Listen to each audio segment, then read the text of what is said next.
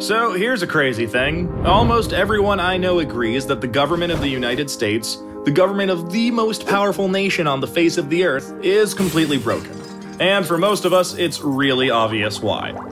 Lobbyists write our laws, politicians are bought, and corruption is infecting every issue that's close to our hearts.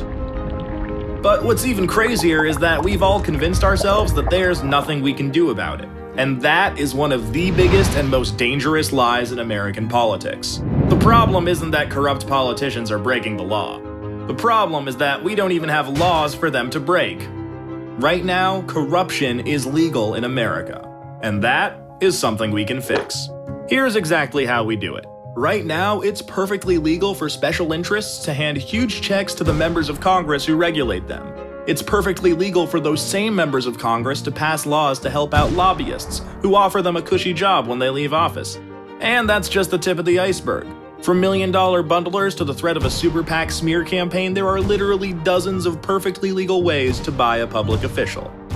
But that makes the solution pretty obvious make corruption illegal. All of it. And that is where the American Anti Corruption Act comes in.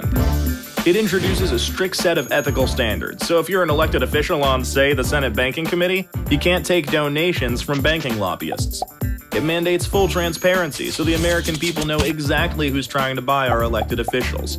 It changes how elections are funded so clean candidates can win without selling out to special interests. And it does all of this while protecting the people's right to free speech. That's because the act was written by top constitutional scholars, conservative and liberal alike, to stand up to the toughest scrutiny. You can read the full text of the act at anticorruptionact.org.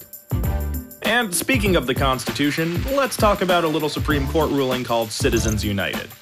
Here's the thing.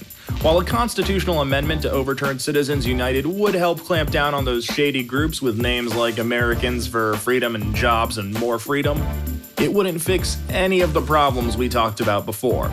You could pass that amendment tomorrow, and the bribery, the extortion, the conflicts of interest, all of it would still be legal.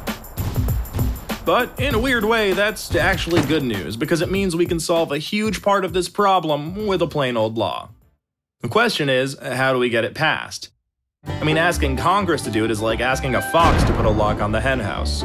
The greasy, dirty, disgusting fox. And also, the fox is a congressman and not a fox at all. Look, my point is, we can go around Congress using a little something called the ballot initiative process. It lets citizens pass laws ourselves, no politicians required. All we have to do is gather enough signatures, put anti corruption acts up to a simple public vote, and we can start fixing the corrupt system right at home. Here's our plan in five steps. First, we'll need a law to pass. One that, you know, actually fixes things. Okay, Anti Corruption Act. Check. Next, we need to bring conservatives and progressives together and get organized. It's the only way to build enough power to defeat the politically entrenched and well funded opposition. We're in good shape there, though, because everyone already agrees we need to fix our corrupt system. In fact, local Tea Partiers and progressive activists actually teamed up to pass America's first Anti Corruption Act in 2014 and the movement has racked up even more victories since. There are more than 22,000 cities in America where we can use the ballot initiative process to pass locally tailored anti corruption acts. And this really matters.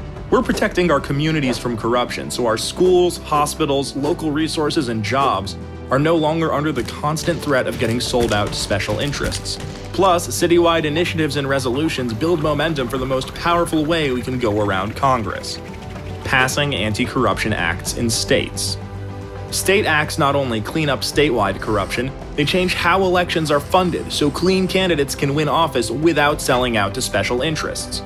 That goes for federal candidates from that state, too. Once we pass these state laws, we can send a new wave of representatives and senators to Washington.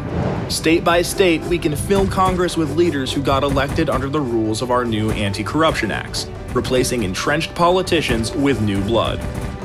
See how this works? By taking the fight to the states, we can fix Congress from the outside. And when these new representatives get to Congress, free from dependence on special interests, they'll be free to vote for and pass the American Anti Corruption Act at the federal level to fix this problem for good. So that's the plan, and 500,000 Represent Us members couldn't agree more. We're bringing conservatives and progressives together to pass anti corruption acts across America and put power back in the hands of the people, where it belongs. We need millions more people to join, and that includes you. Start by clicking here, and we'll tell you exactly how you can help.